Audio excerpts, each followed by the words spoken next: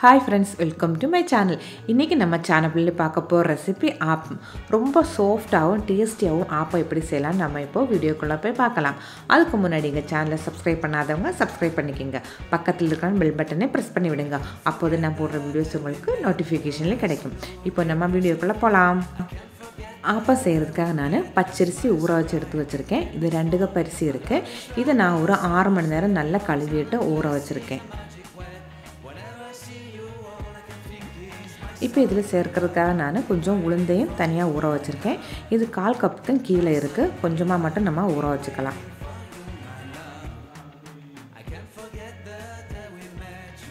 அடுத்து நம்ம இதோட சேர்க்க போகிற பொருள் என்னென்னு பார்க்கலாம். ரெண்டு கப்பு தேங்காய் துருவி எடுத்து வச்சுருக்கேன். ஒரு கப்பு சா சாதம் நம்ம சாப்பாடு படிக்கிற சாதம் ஒரு தேங்காவோட தண்ணி இது எல்லாமே நான் எடுத்து வச்சுருக்கேன். இப்போ நம்ம மிக்சி ஜாரில் அரிசியை மாற்றிடலாம் அளவளவாக மட்டும் போட்டுடலாம் நம்ம.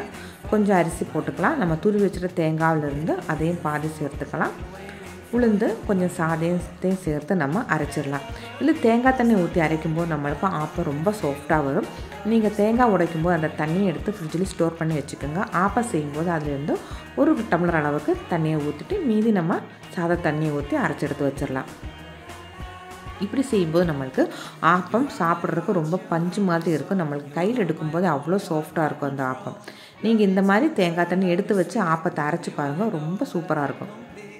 இப்போ நான் எடுத்து வச்சுருக்க தேங்காய் தண்ணி சாதம் எல்லாத்தையும் போட்டாச்சு அரிசி உளுந்து எல்லாத்தையும் போட்டாச்சு. நம்ம இது நல்லா நைஸாக அரைச்சி எடுத்துக்கலாம். இந்த மாதிரி நல்லா நைஸாக அரைச்சி எடுத்துக்கோங்க. தேங்காய் தண்ணி ஊற்றிட்டு நம்மளுக்கு பத்தலைன்னா சாதா தண்ணி கொஞ்சம் ஊற்றி அரைச்சிக்கலாம். இப்போ எல்லாத்தையும் அரைச்சி எடுத்தது ஃபுல்லாத்தையும் நம்ம ஒரு பாத்திரத்துக்கு மாற்றிடலாம் அடுத்து மீதி இருக்கிறதும் நம்ம இதே மாதிரி அரைச்சி எடுத்துடலாம்.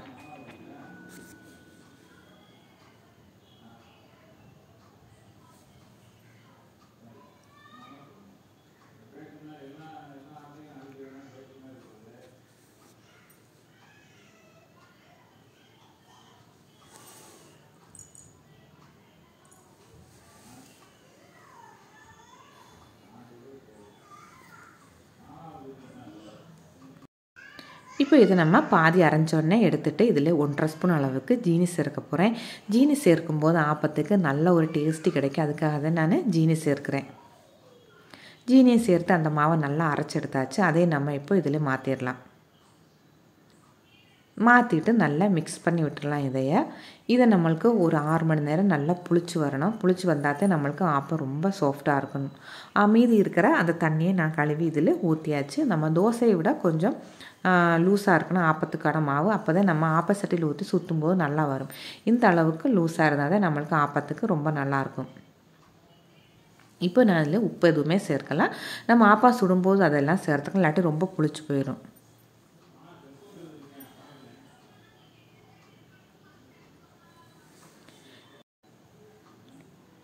இப்போ இது நம்ம மூடி வச்சிடலாம். நல்லா கூலிங்காக இருந்த பிளேஸில் இருந்துச்சுன்னா நம்ம ஒரு எட்டு மணி நேரம் இப்படியே நம்ம புளிக்க விட்டுறலாம். இல்லை சாதாரணமாக இருந்துச்சுன்னா ஆறு மணி நேரத்துலேயே நம்மளுக்கு மாவு நல்லா பொங்கி வந்துடும் இப்போ நான் இந்த மாவு ஆட்டி வச்சு ஆறு மணி நேரம் ஆச்சு. மாவு நல்லா பொங்கி வந்துருச்சு. இது இப்போ நம்ம லைட்டாக ஒரு கரண்டி வச்சு மிக்ஸ் பண்ணி விட்டுடலாம்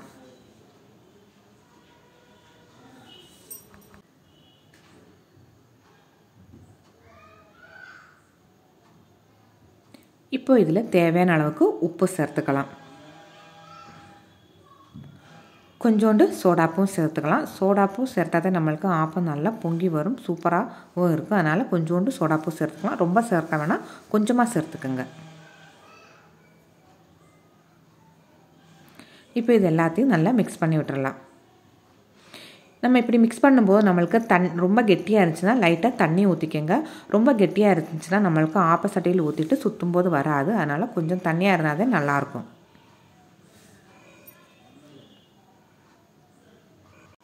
ஆப்பசட்டி அடுப்பில் வச்சுருக்கேன். சூடாயிருச்சு. நம்ம இதில் மாவை ஊற்றிடலாம் மாவு ஊற்றிட்டு நல்லா சுற்றி விட்டுக்கலாம்.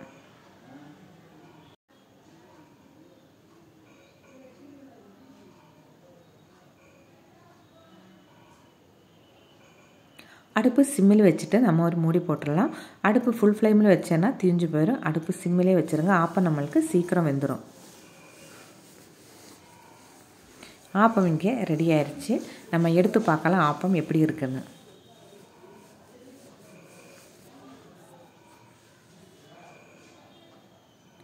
எடுக்கும்போதே பாருங்கள் ரொம்ப சாஃப்டாக இருக்குது ஆப்பம். நல்லா பஞ்சு மாதிரி இருக்கும். நம்மளுக்கு சாப்பிட்றதுக்கு அவ்வளோ டேஸ்டியாக இருக்கும். எப்போதுமே நீங்கள் ஆப்பத்துக்கு அரைக்கும்போது நான் சொன்ன மாதிரி அரைச்சி பாருங்கள் ரொம்ப சூப்பராக வரும் ஆப்பம். தேங்காய் தண்ணி மறக்காமல் எடுத்து வச்சு நீங்கள் ட்ரை பண்ணி பாருங்கள் நல்லாயிருக்கும். பாருங்கள் எவ்வளோ சாஃப்டாக இருக்குன்னு. நம்மளுக்கு ரொம்ப சாஃப்டாக இருக்கும் இது இந்த மாதிரி செய்யும்போது நல்லாவும் இருக்கும். மறக்காமல் நீங்கள் இந்த மாதிரி செஞ்சு பாருங்கள் செஞ்சு பார்த்துட்டு எப்படி இருக்குதுன்னு எனக்கு ஃபீட்பேக் சொல்லுங்கள் வீடியோ ஃபுல்லாக பார்த்துட்டு உங்களுக்கு பிடிச்சிருச்சுன்னா லைக் பண்ணுங்கள் ஷேர் பண்ணுங்கள்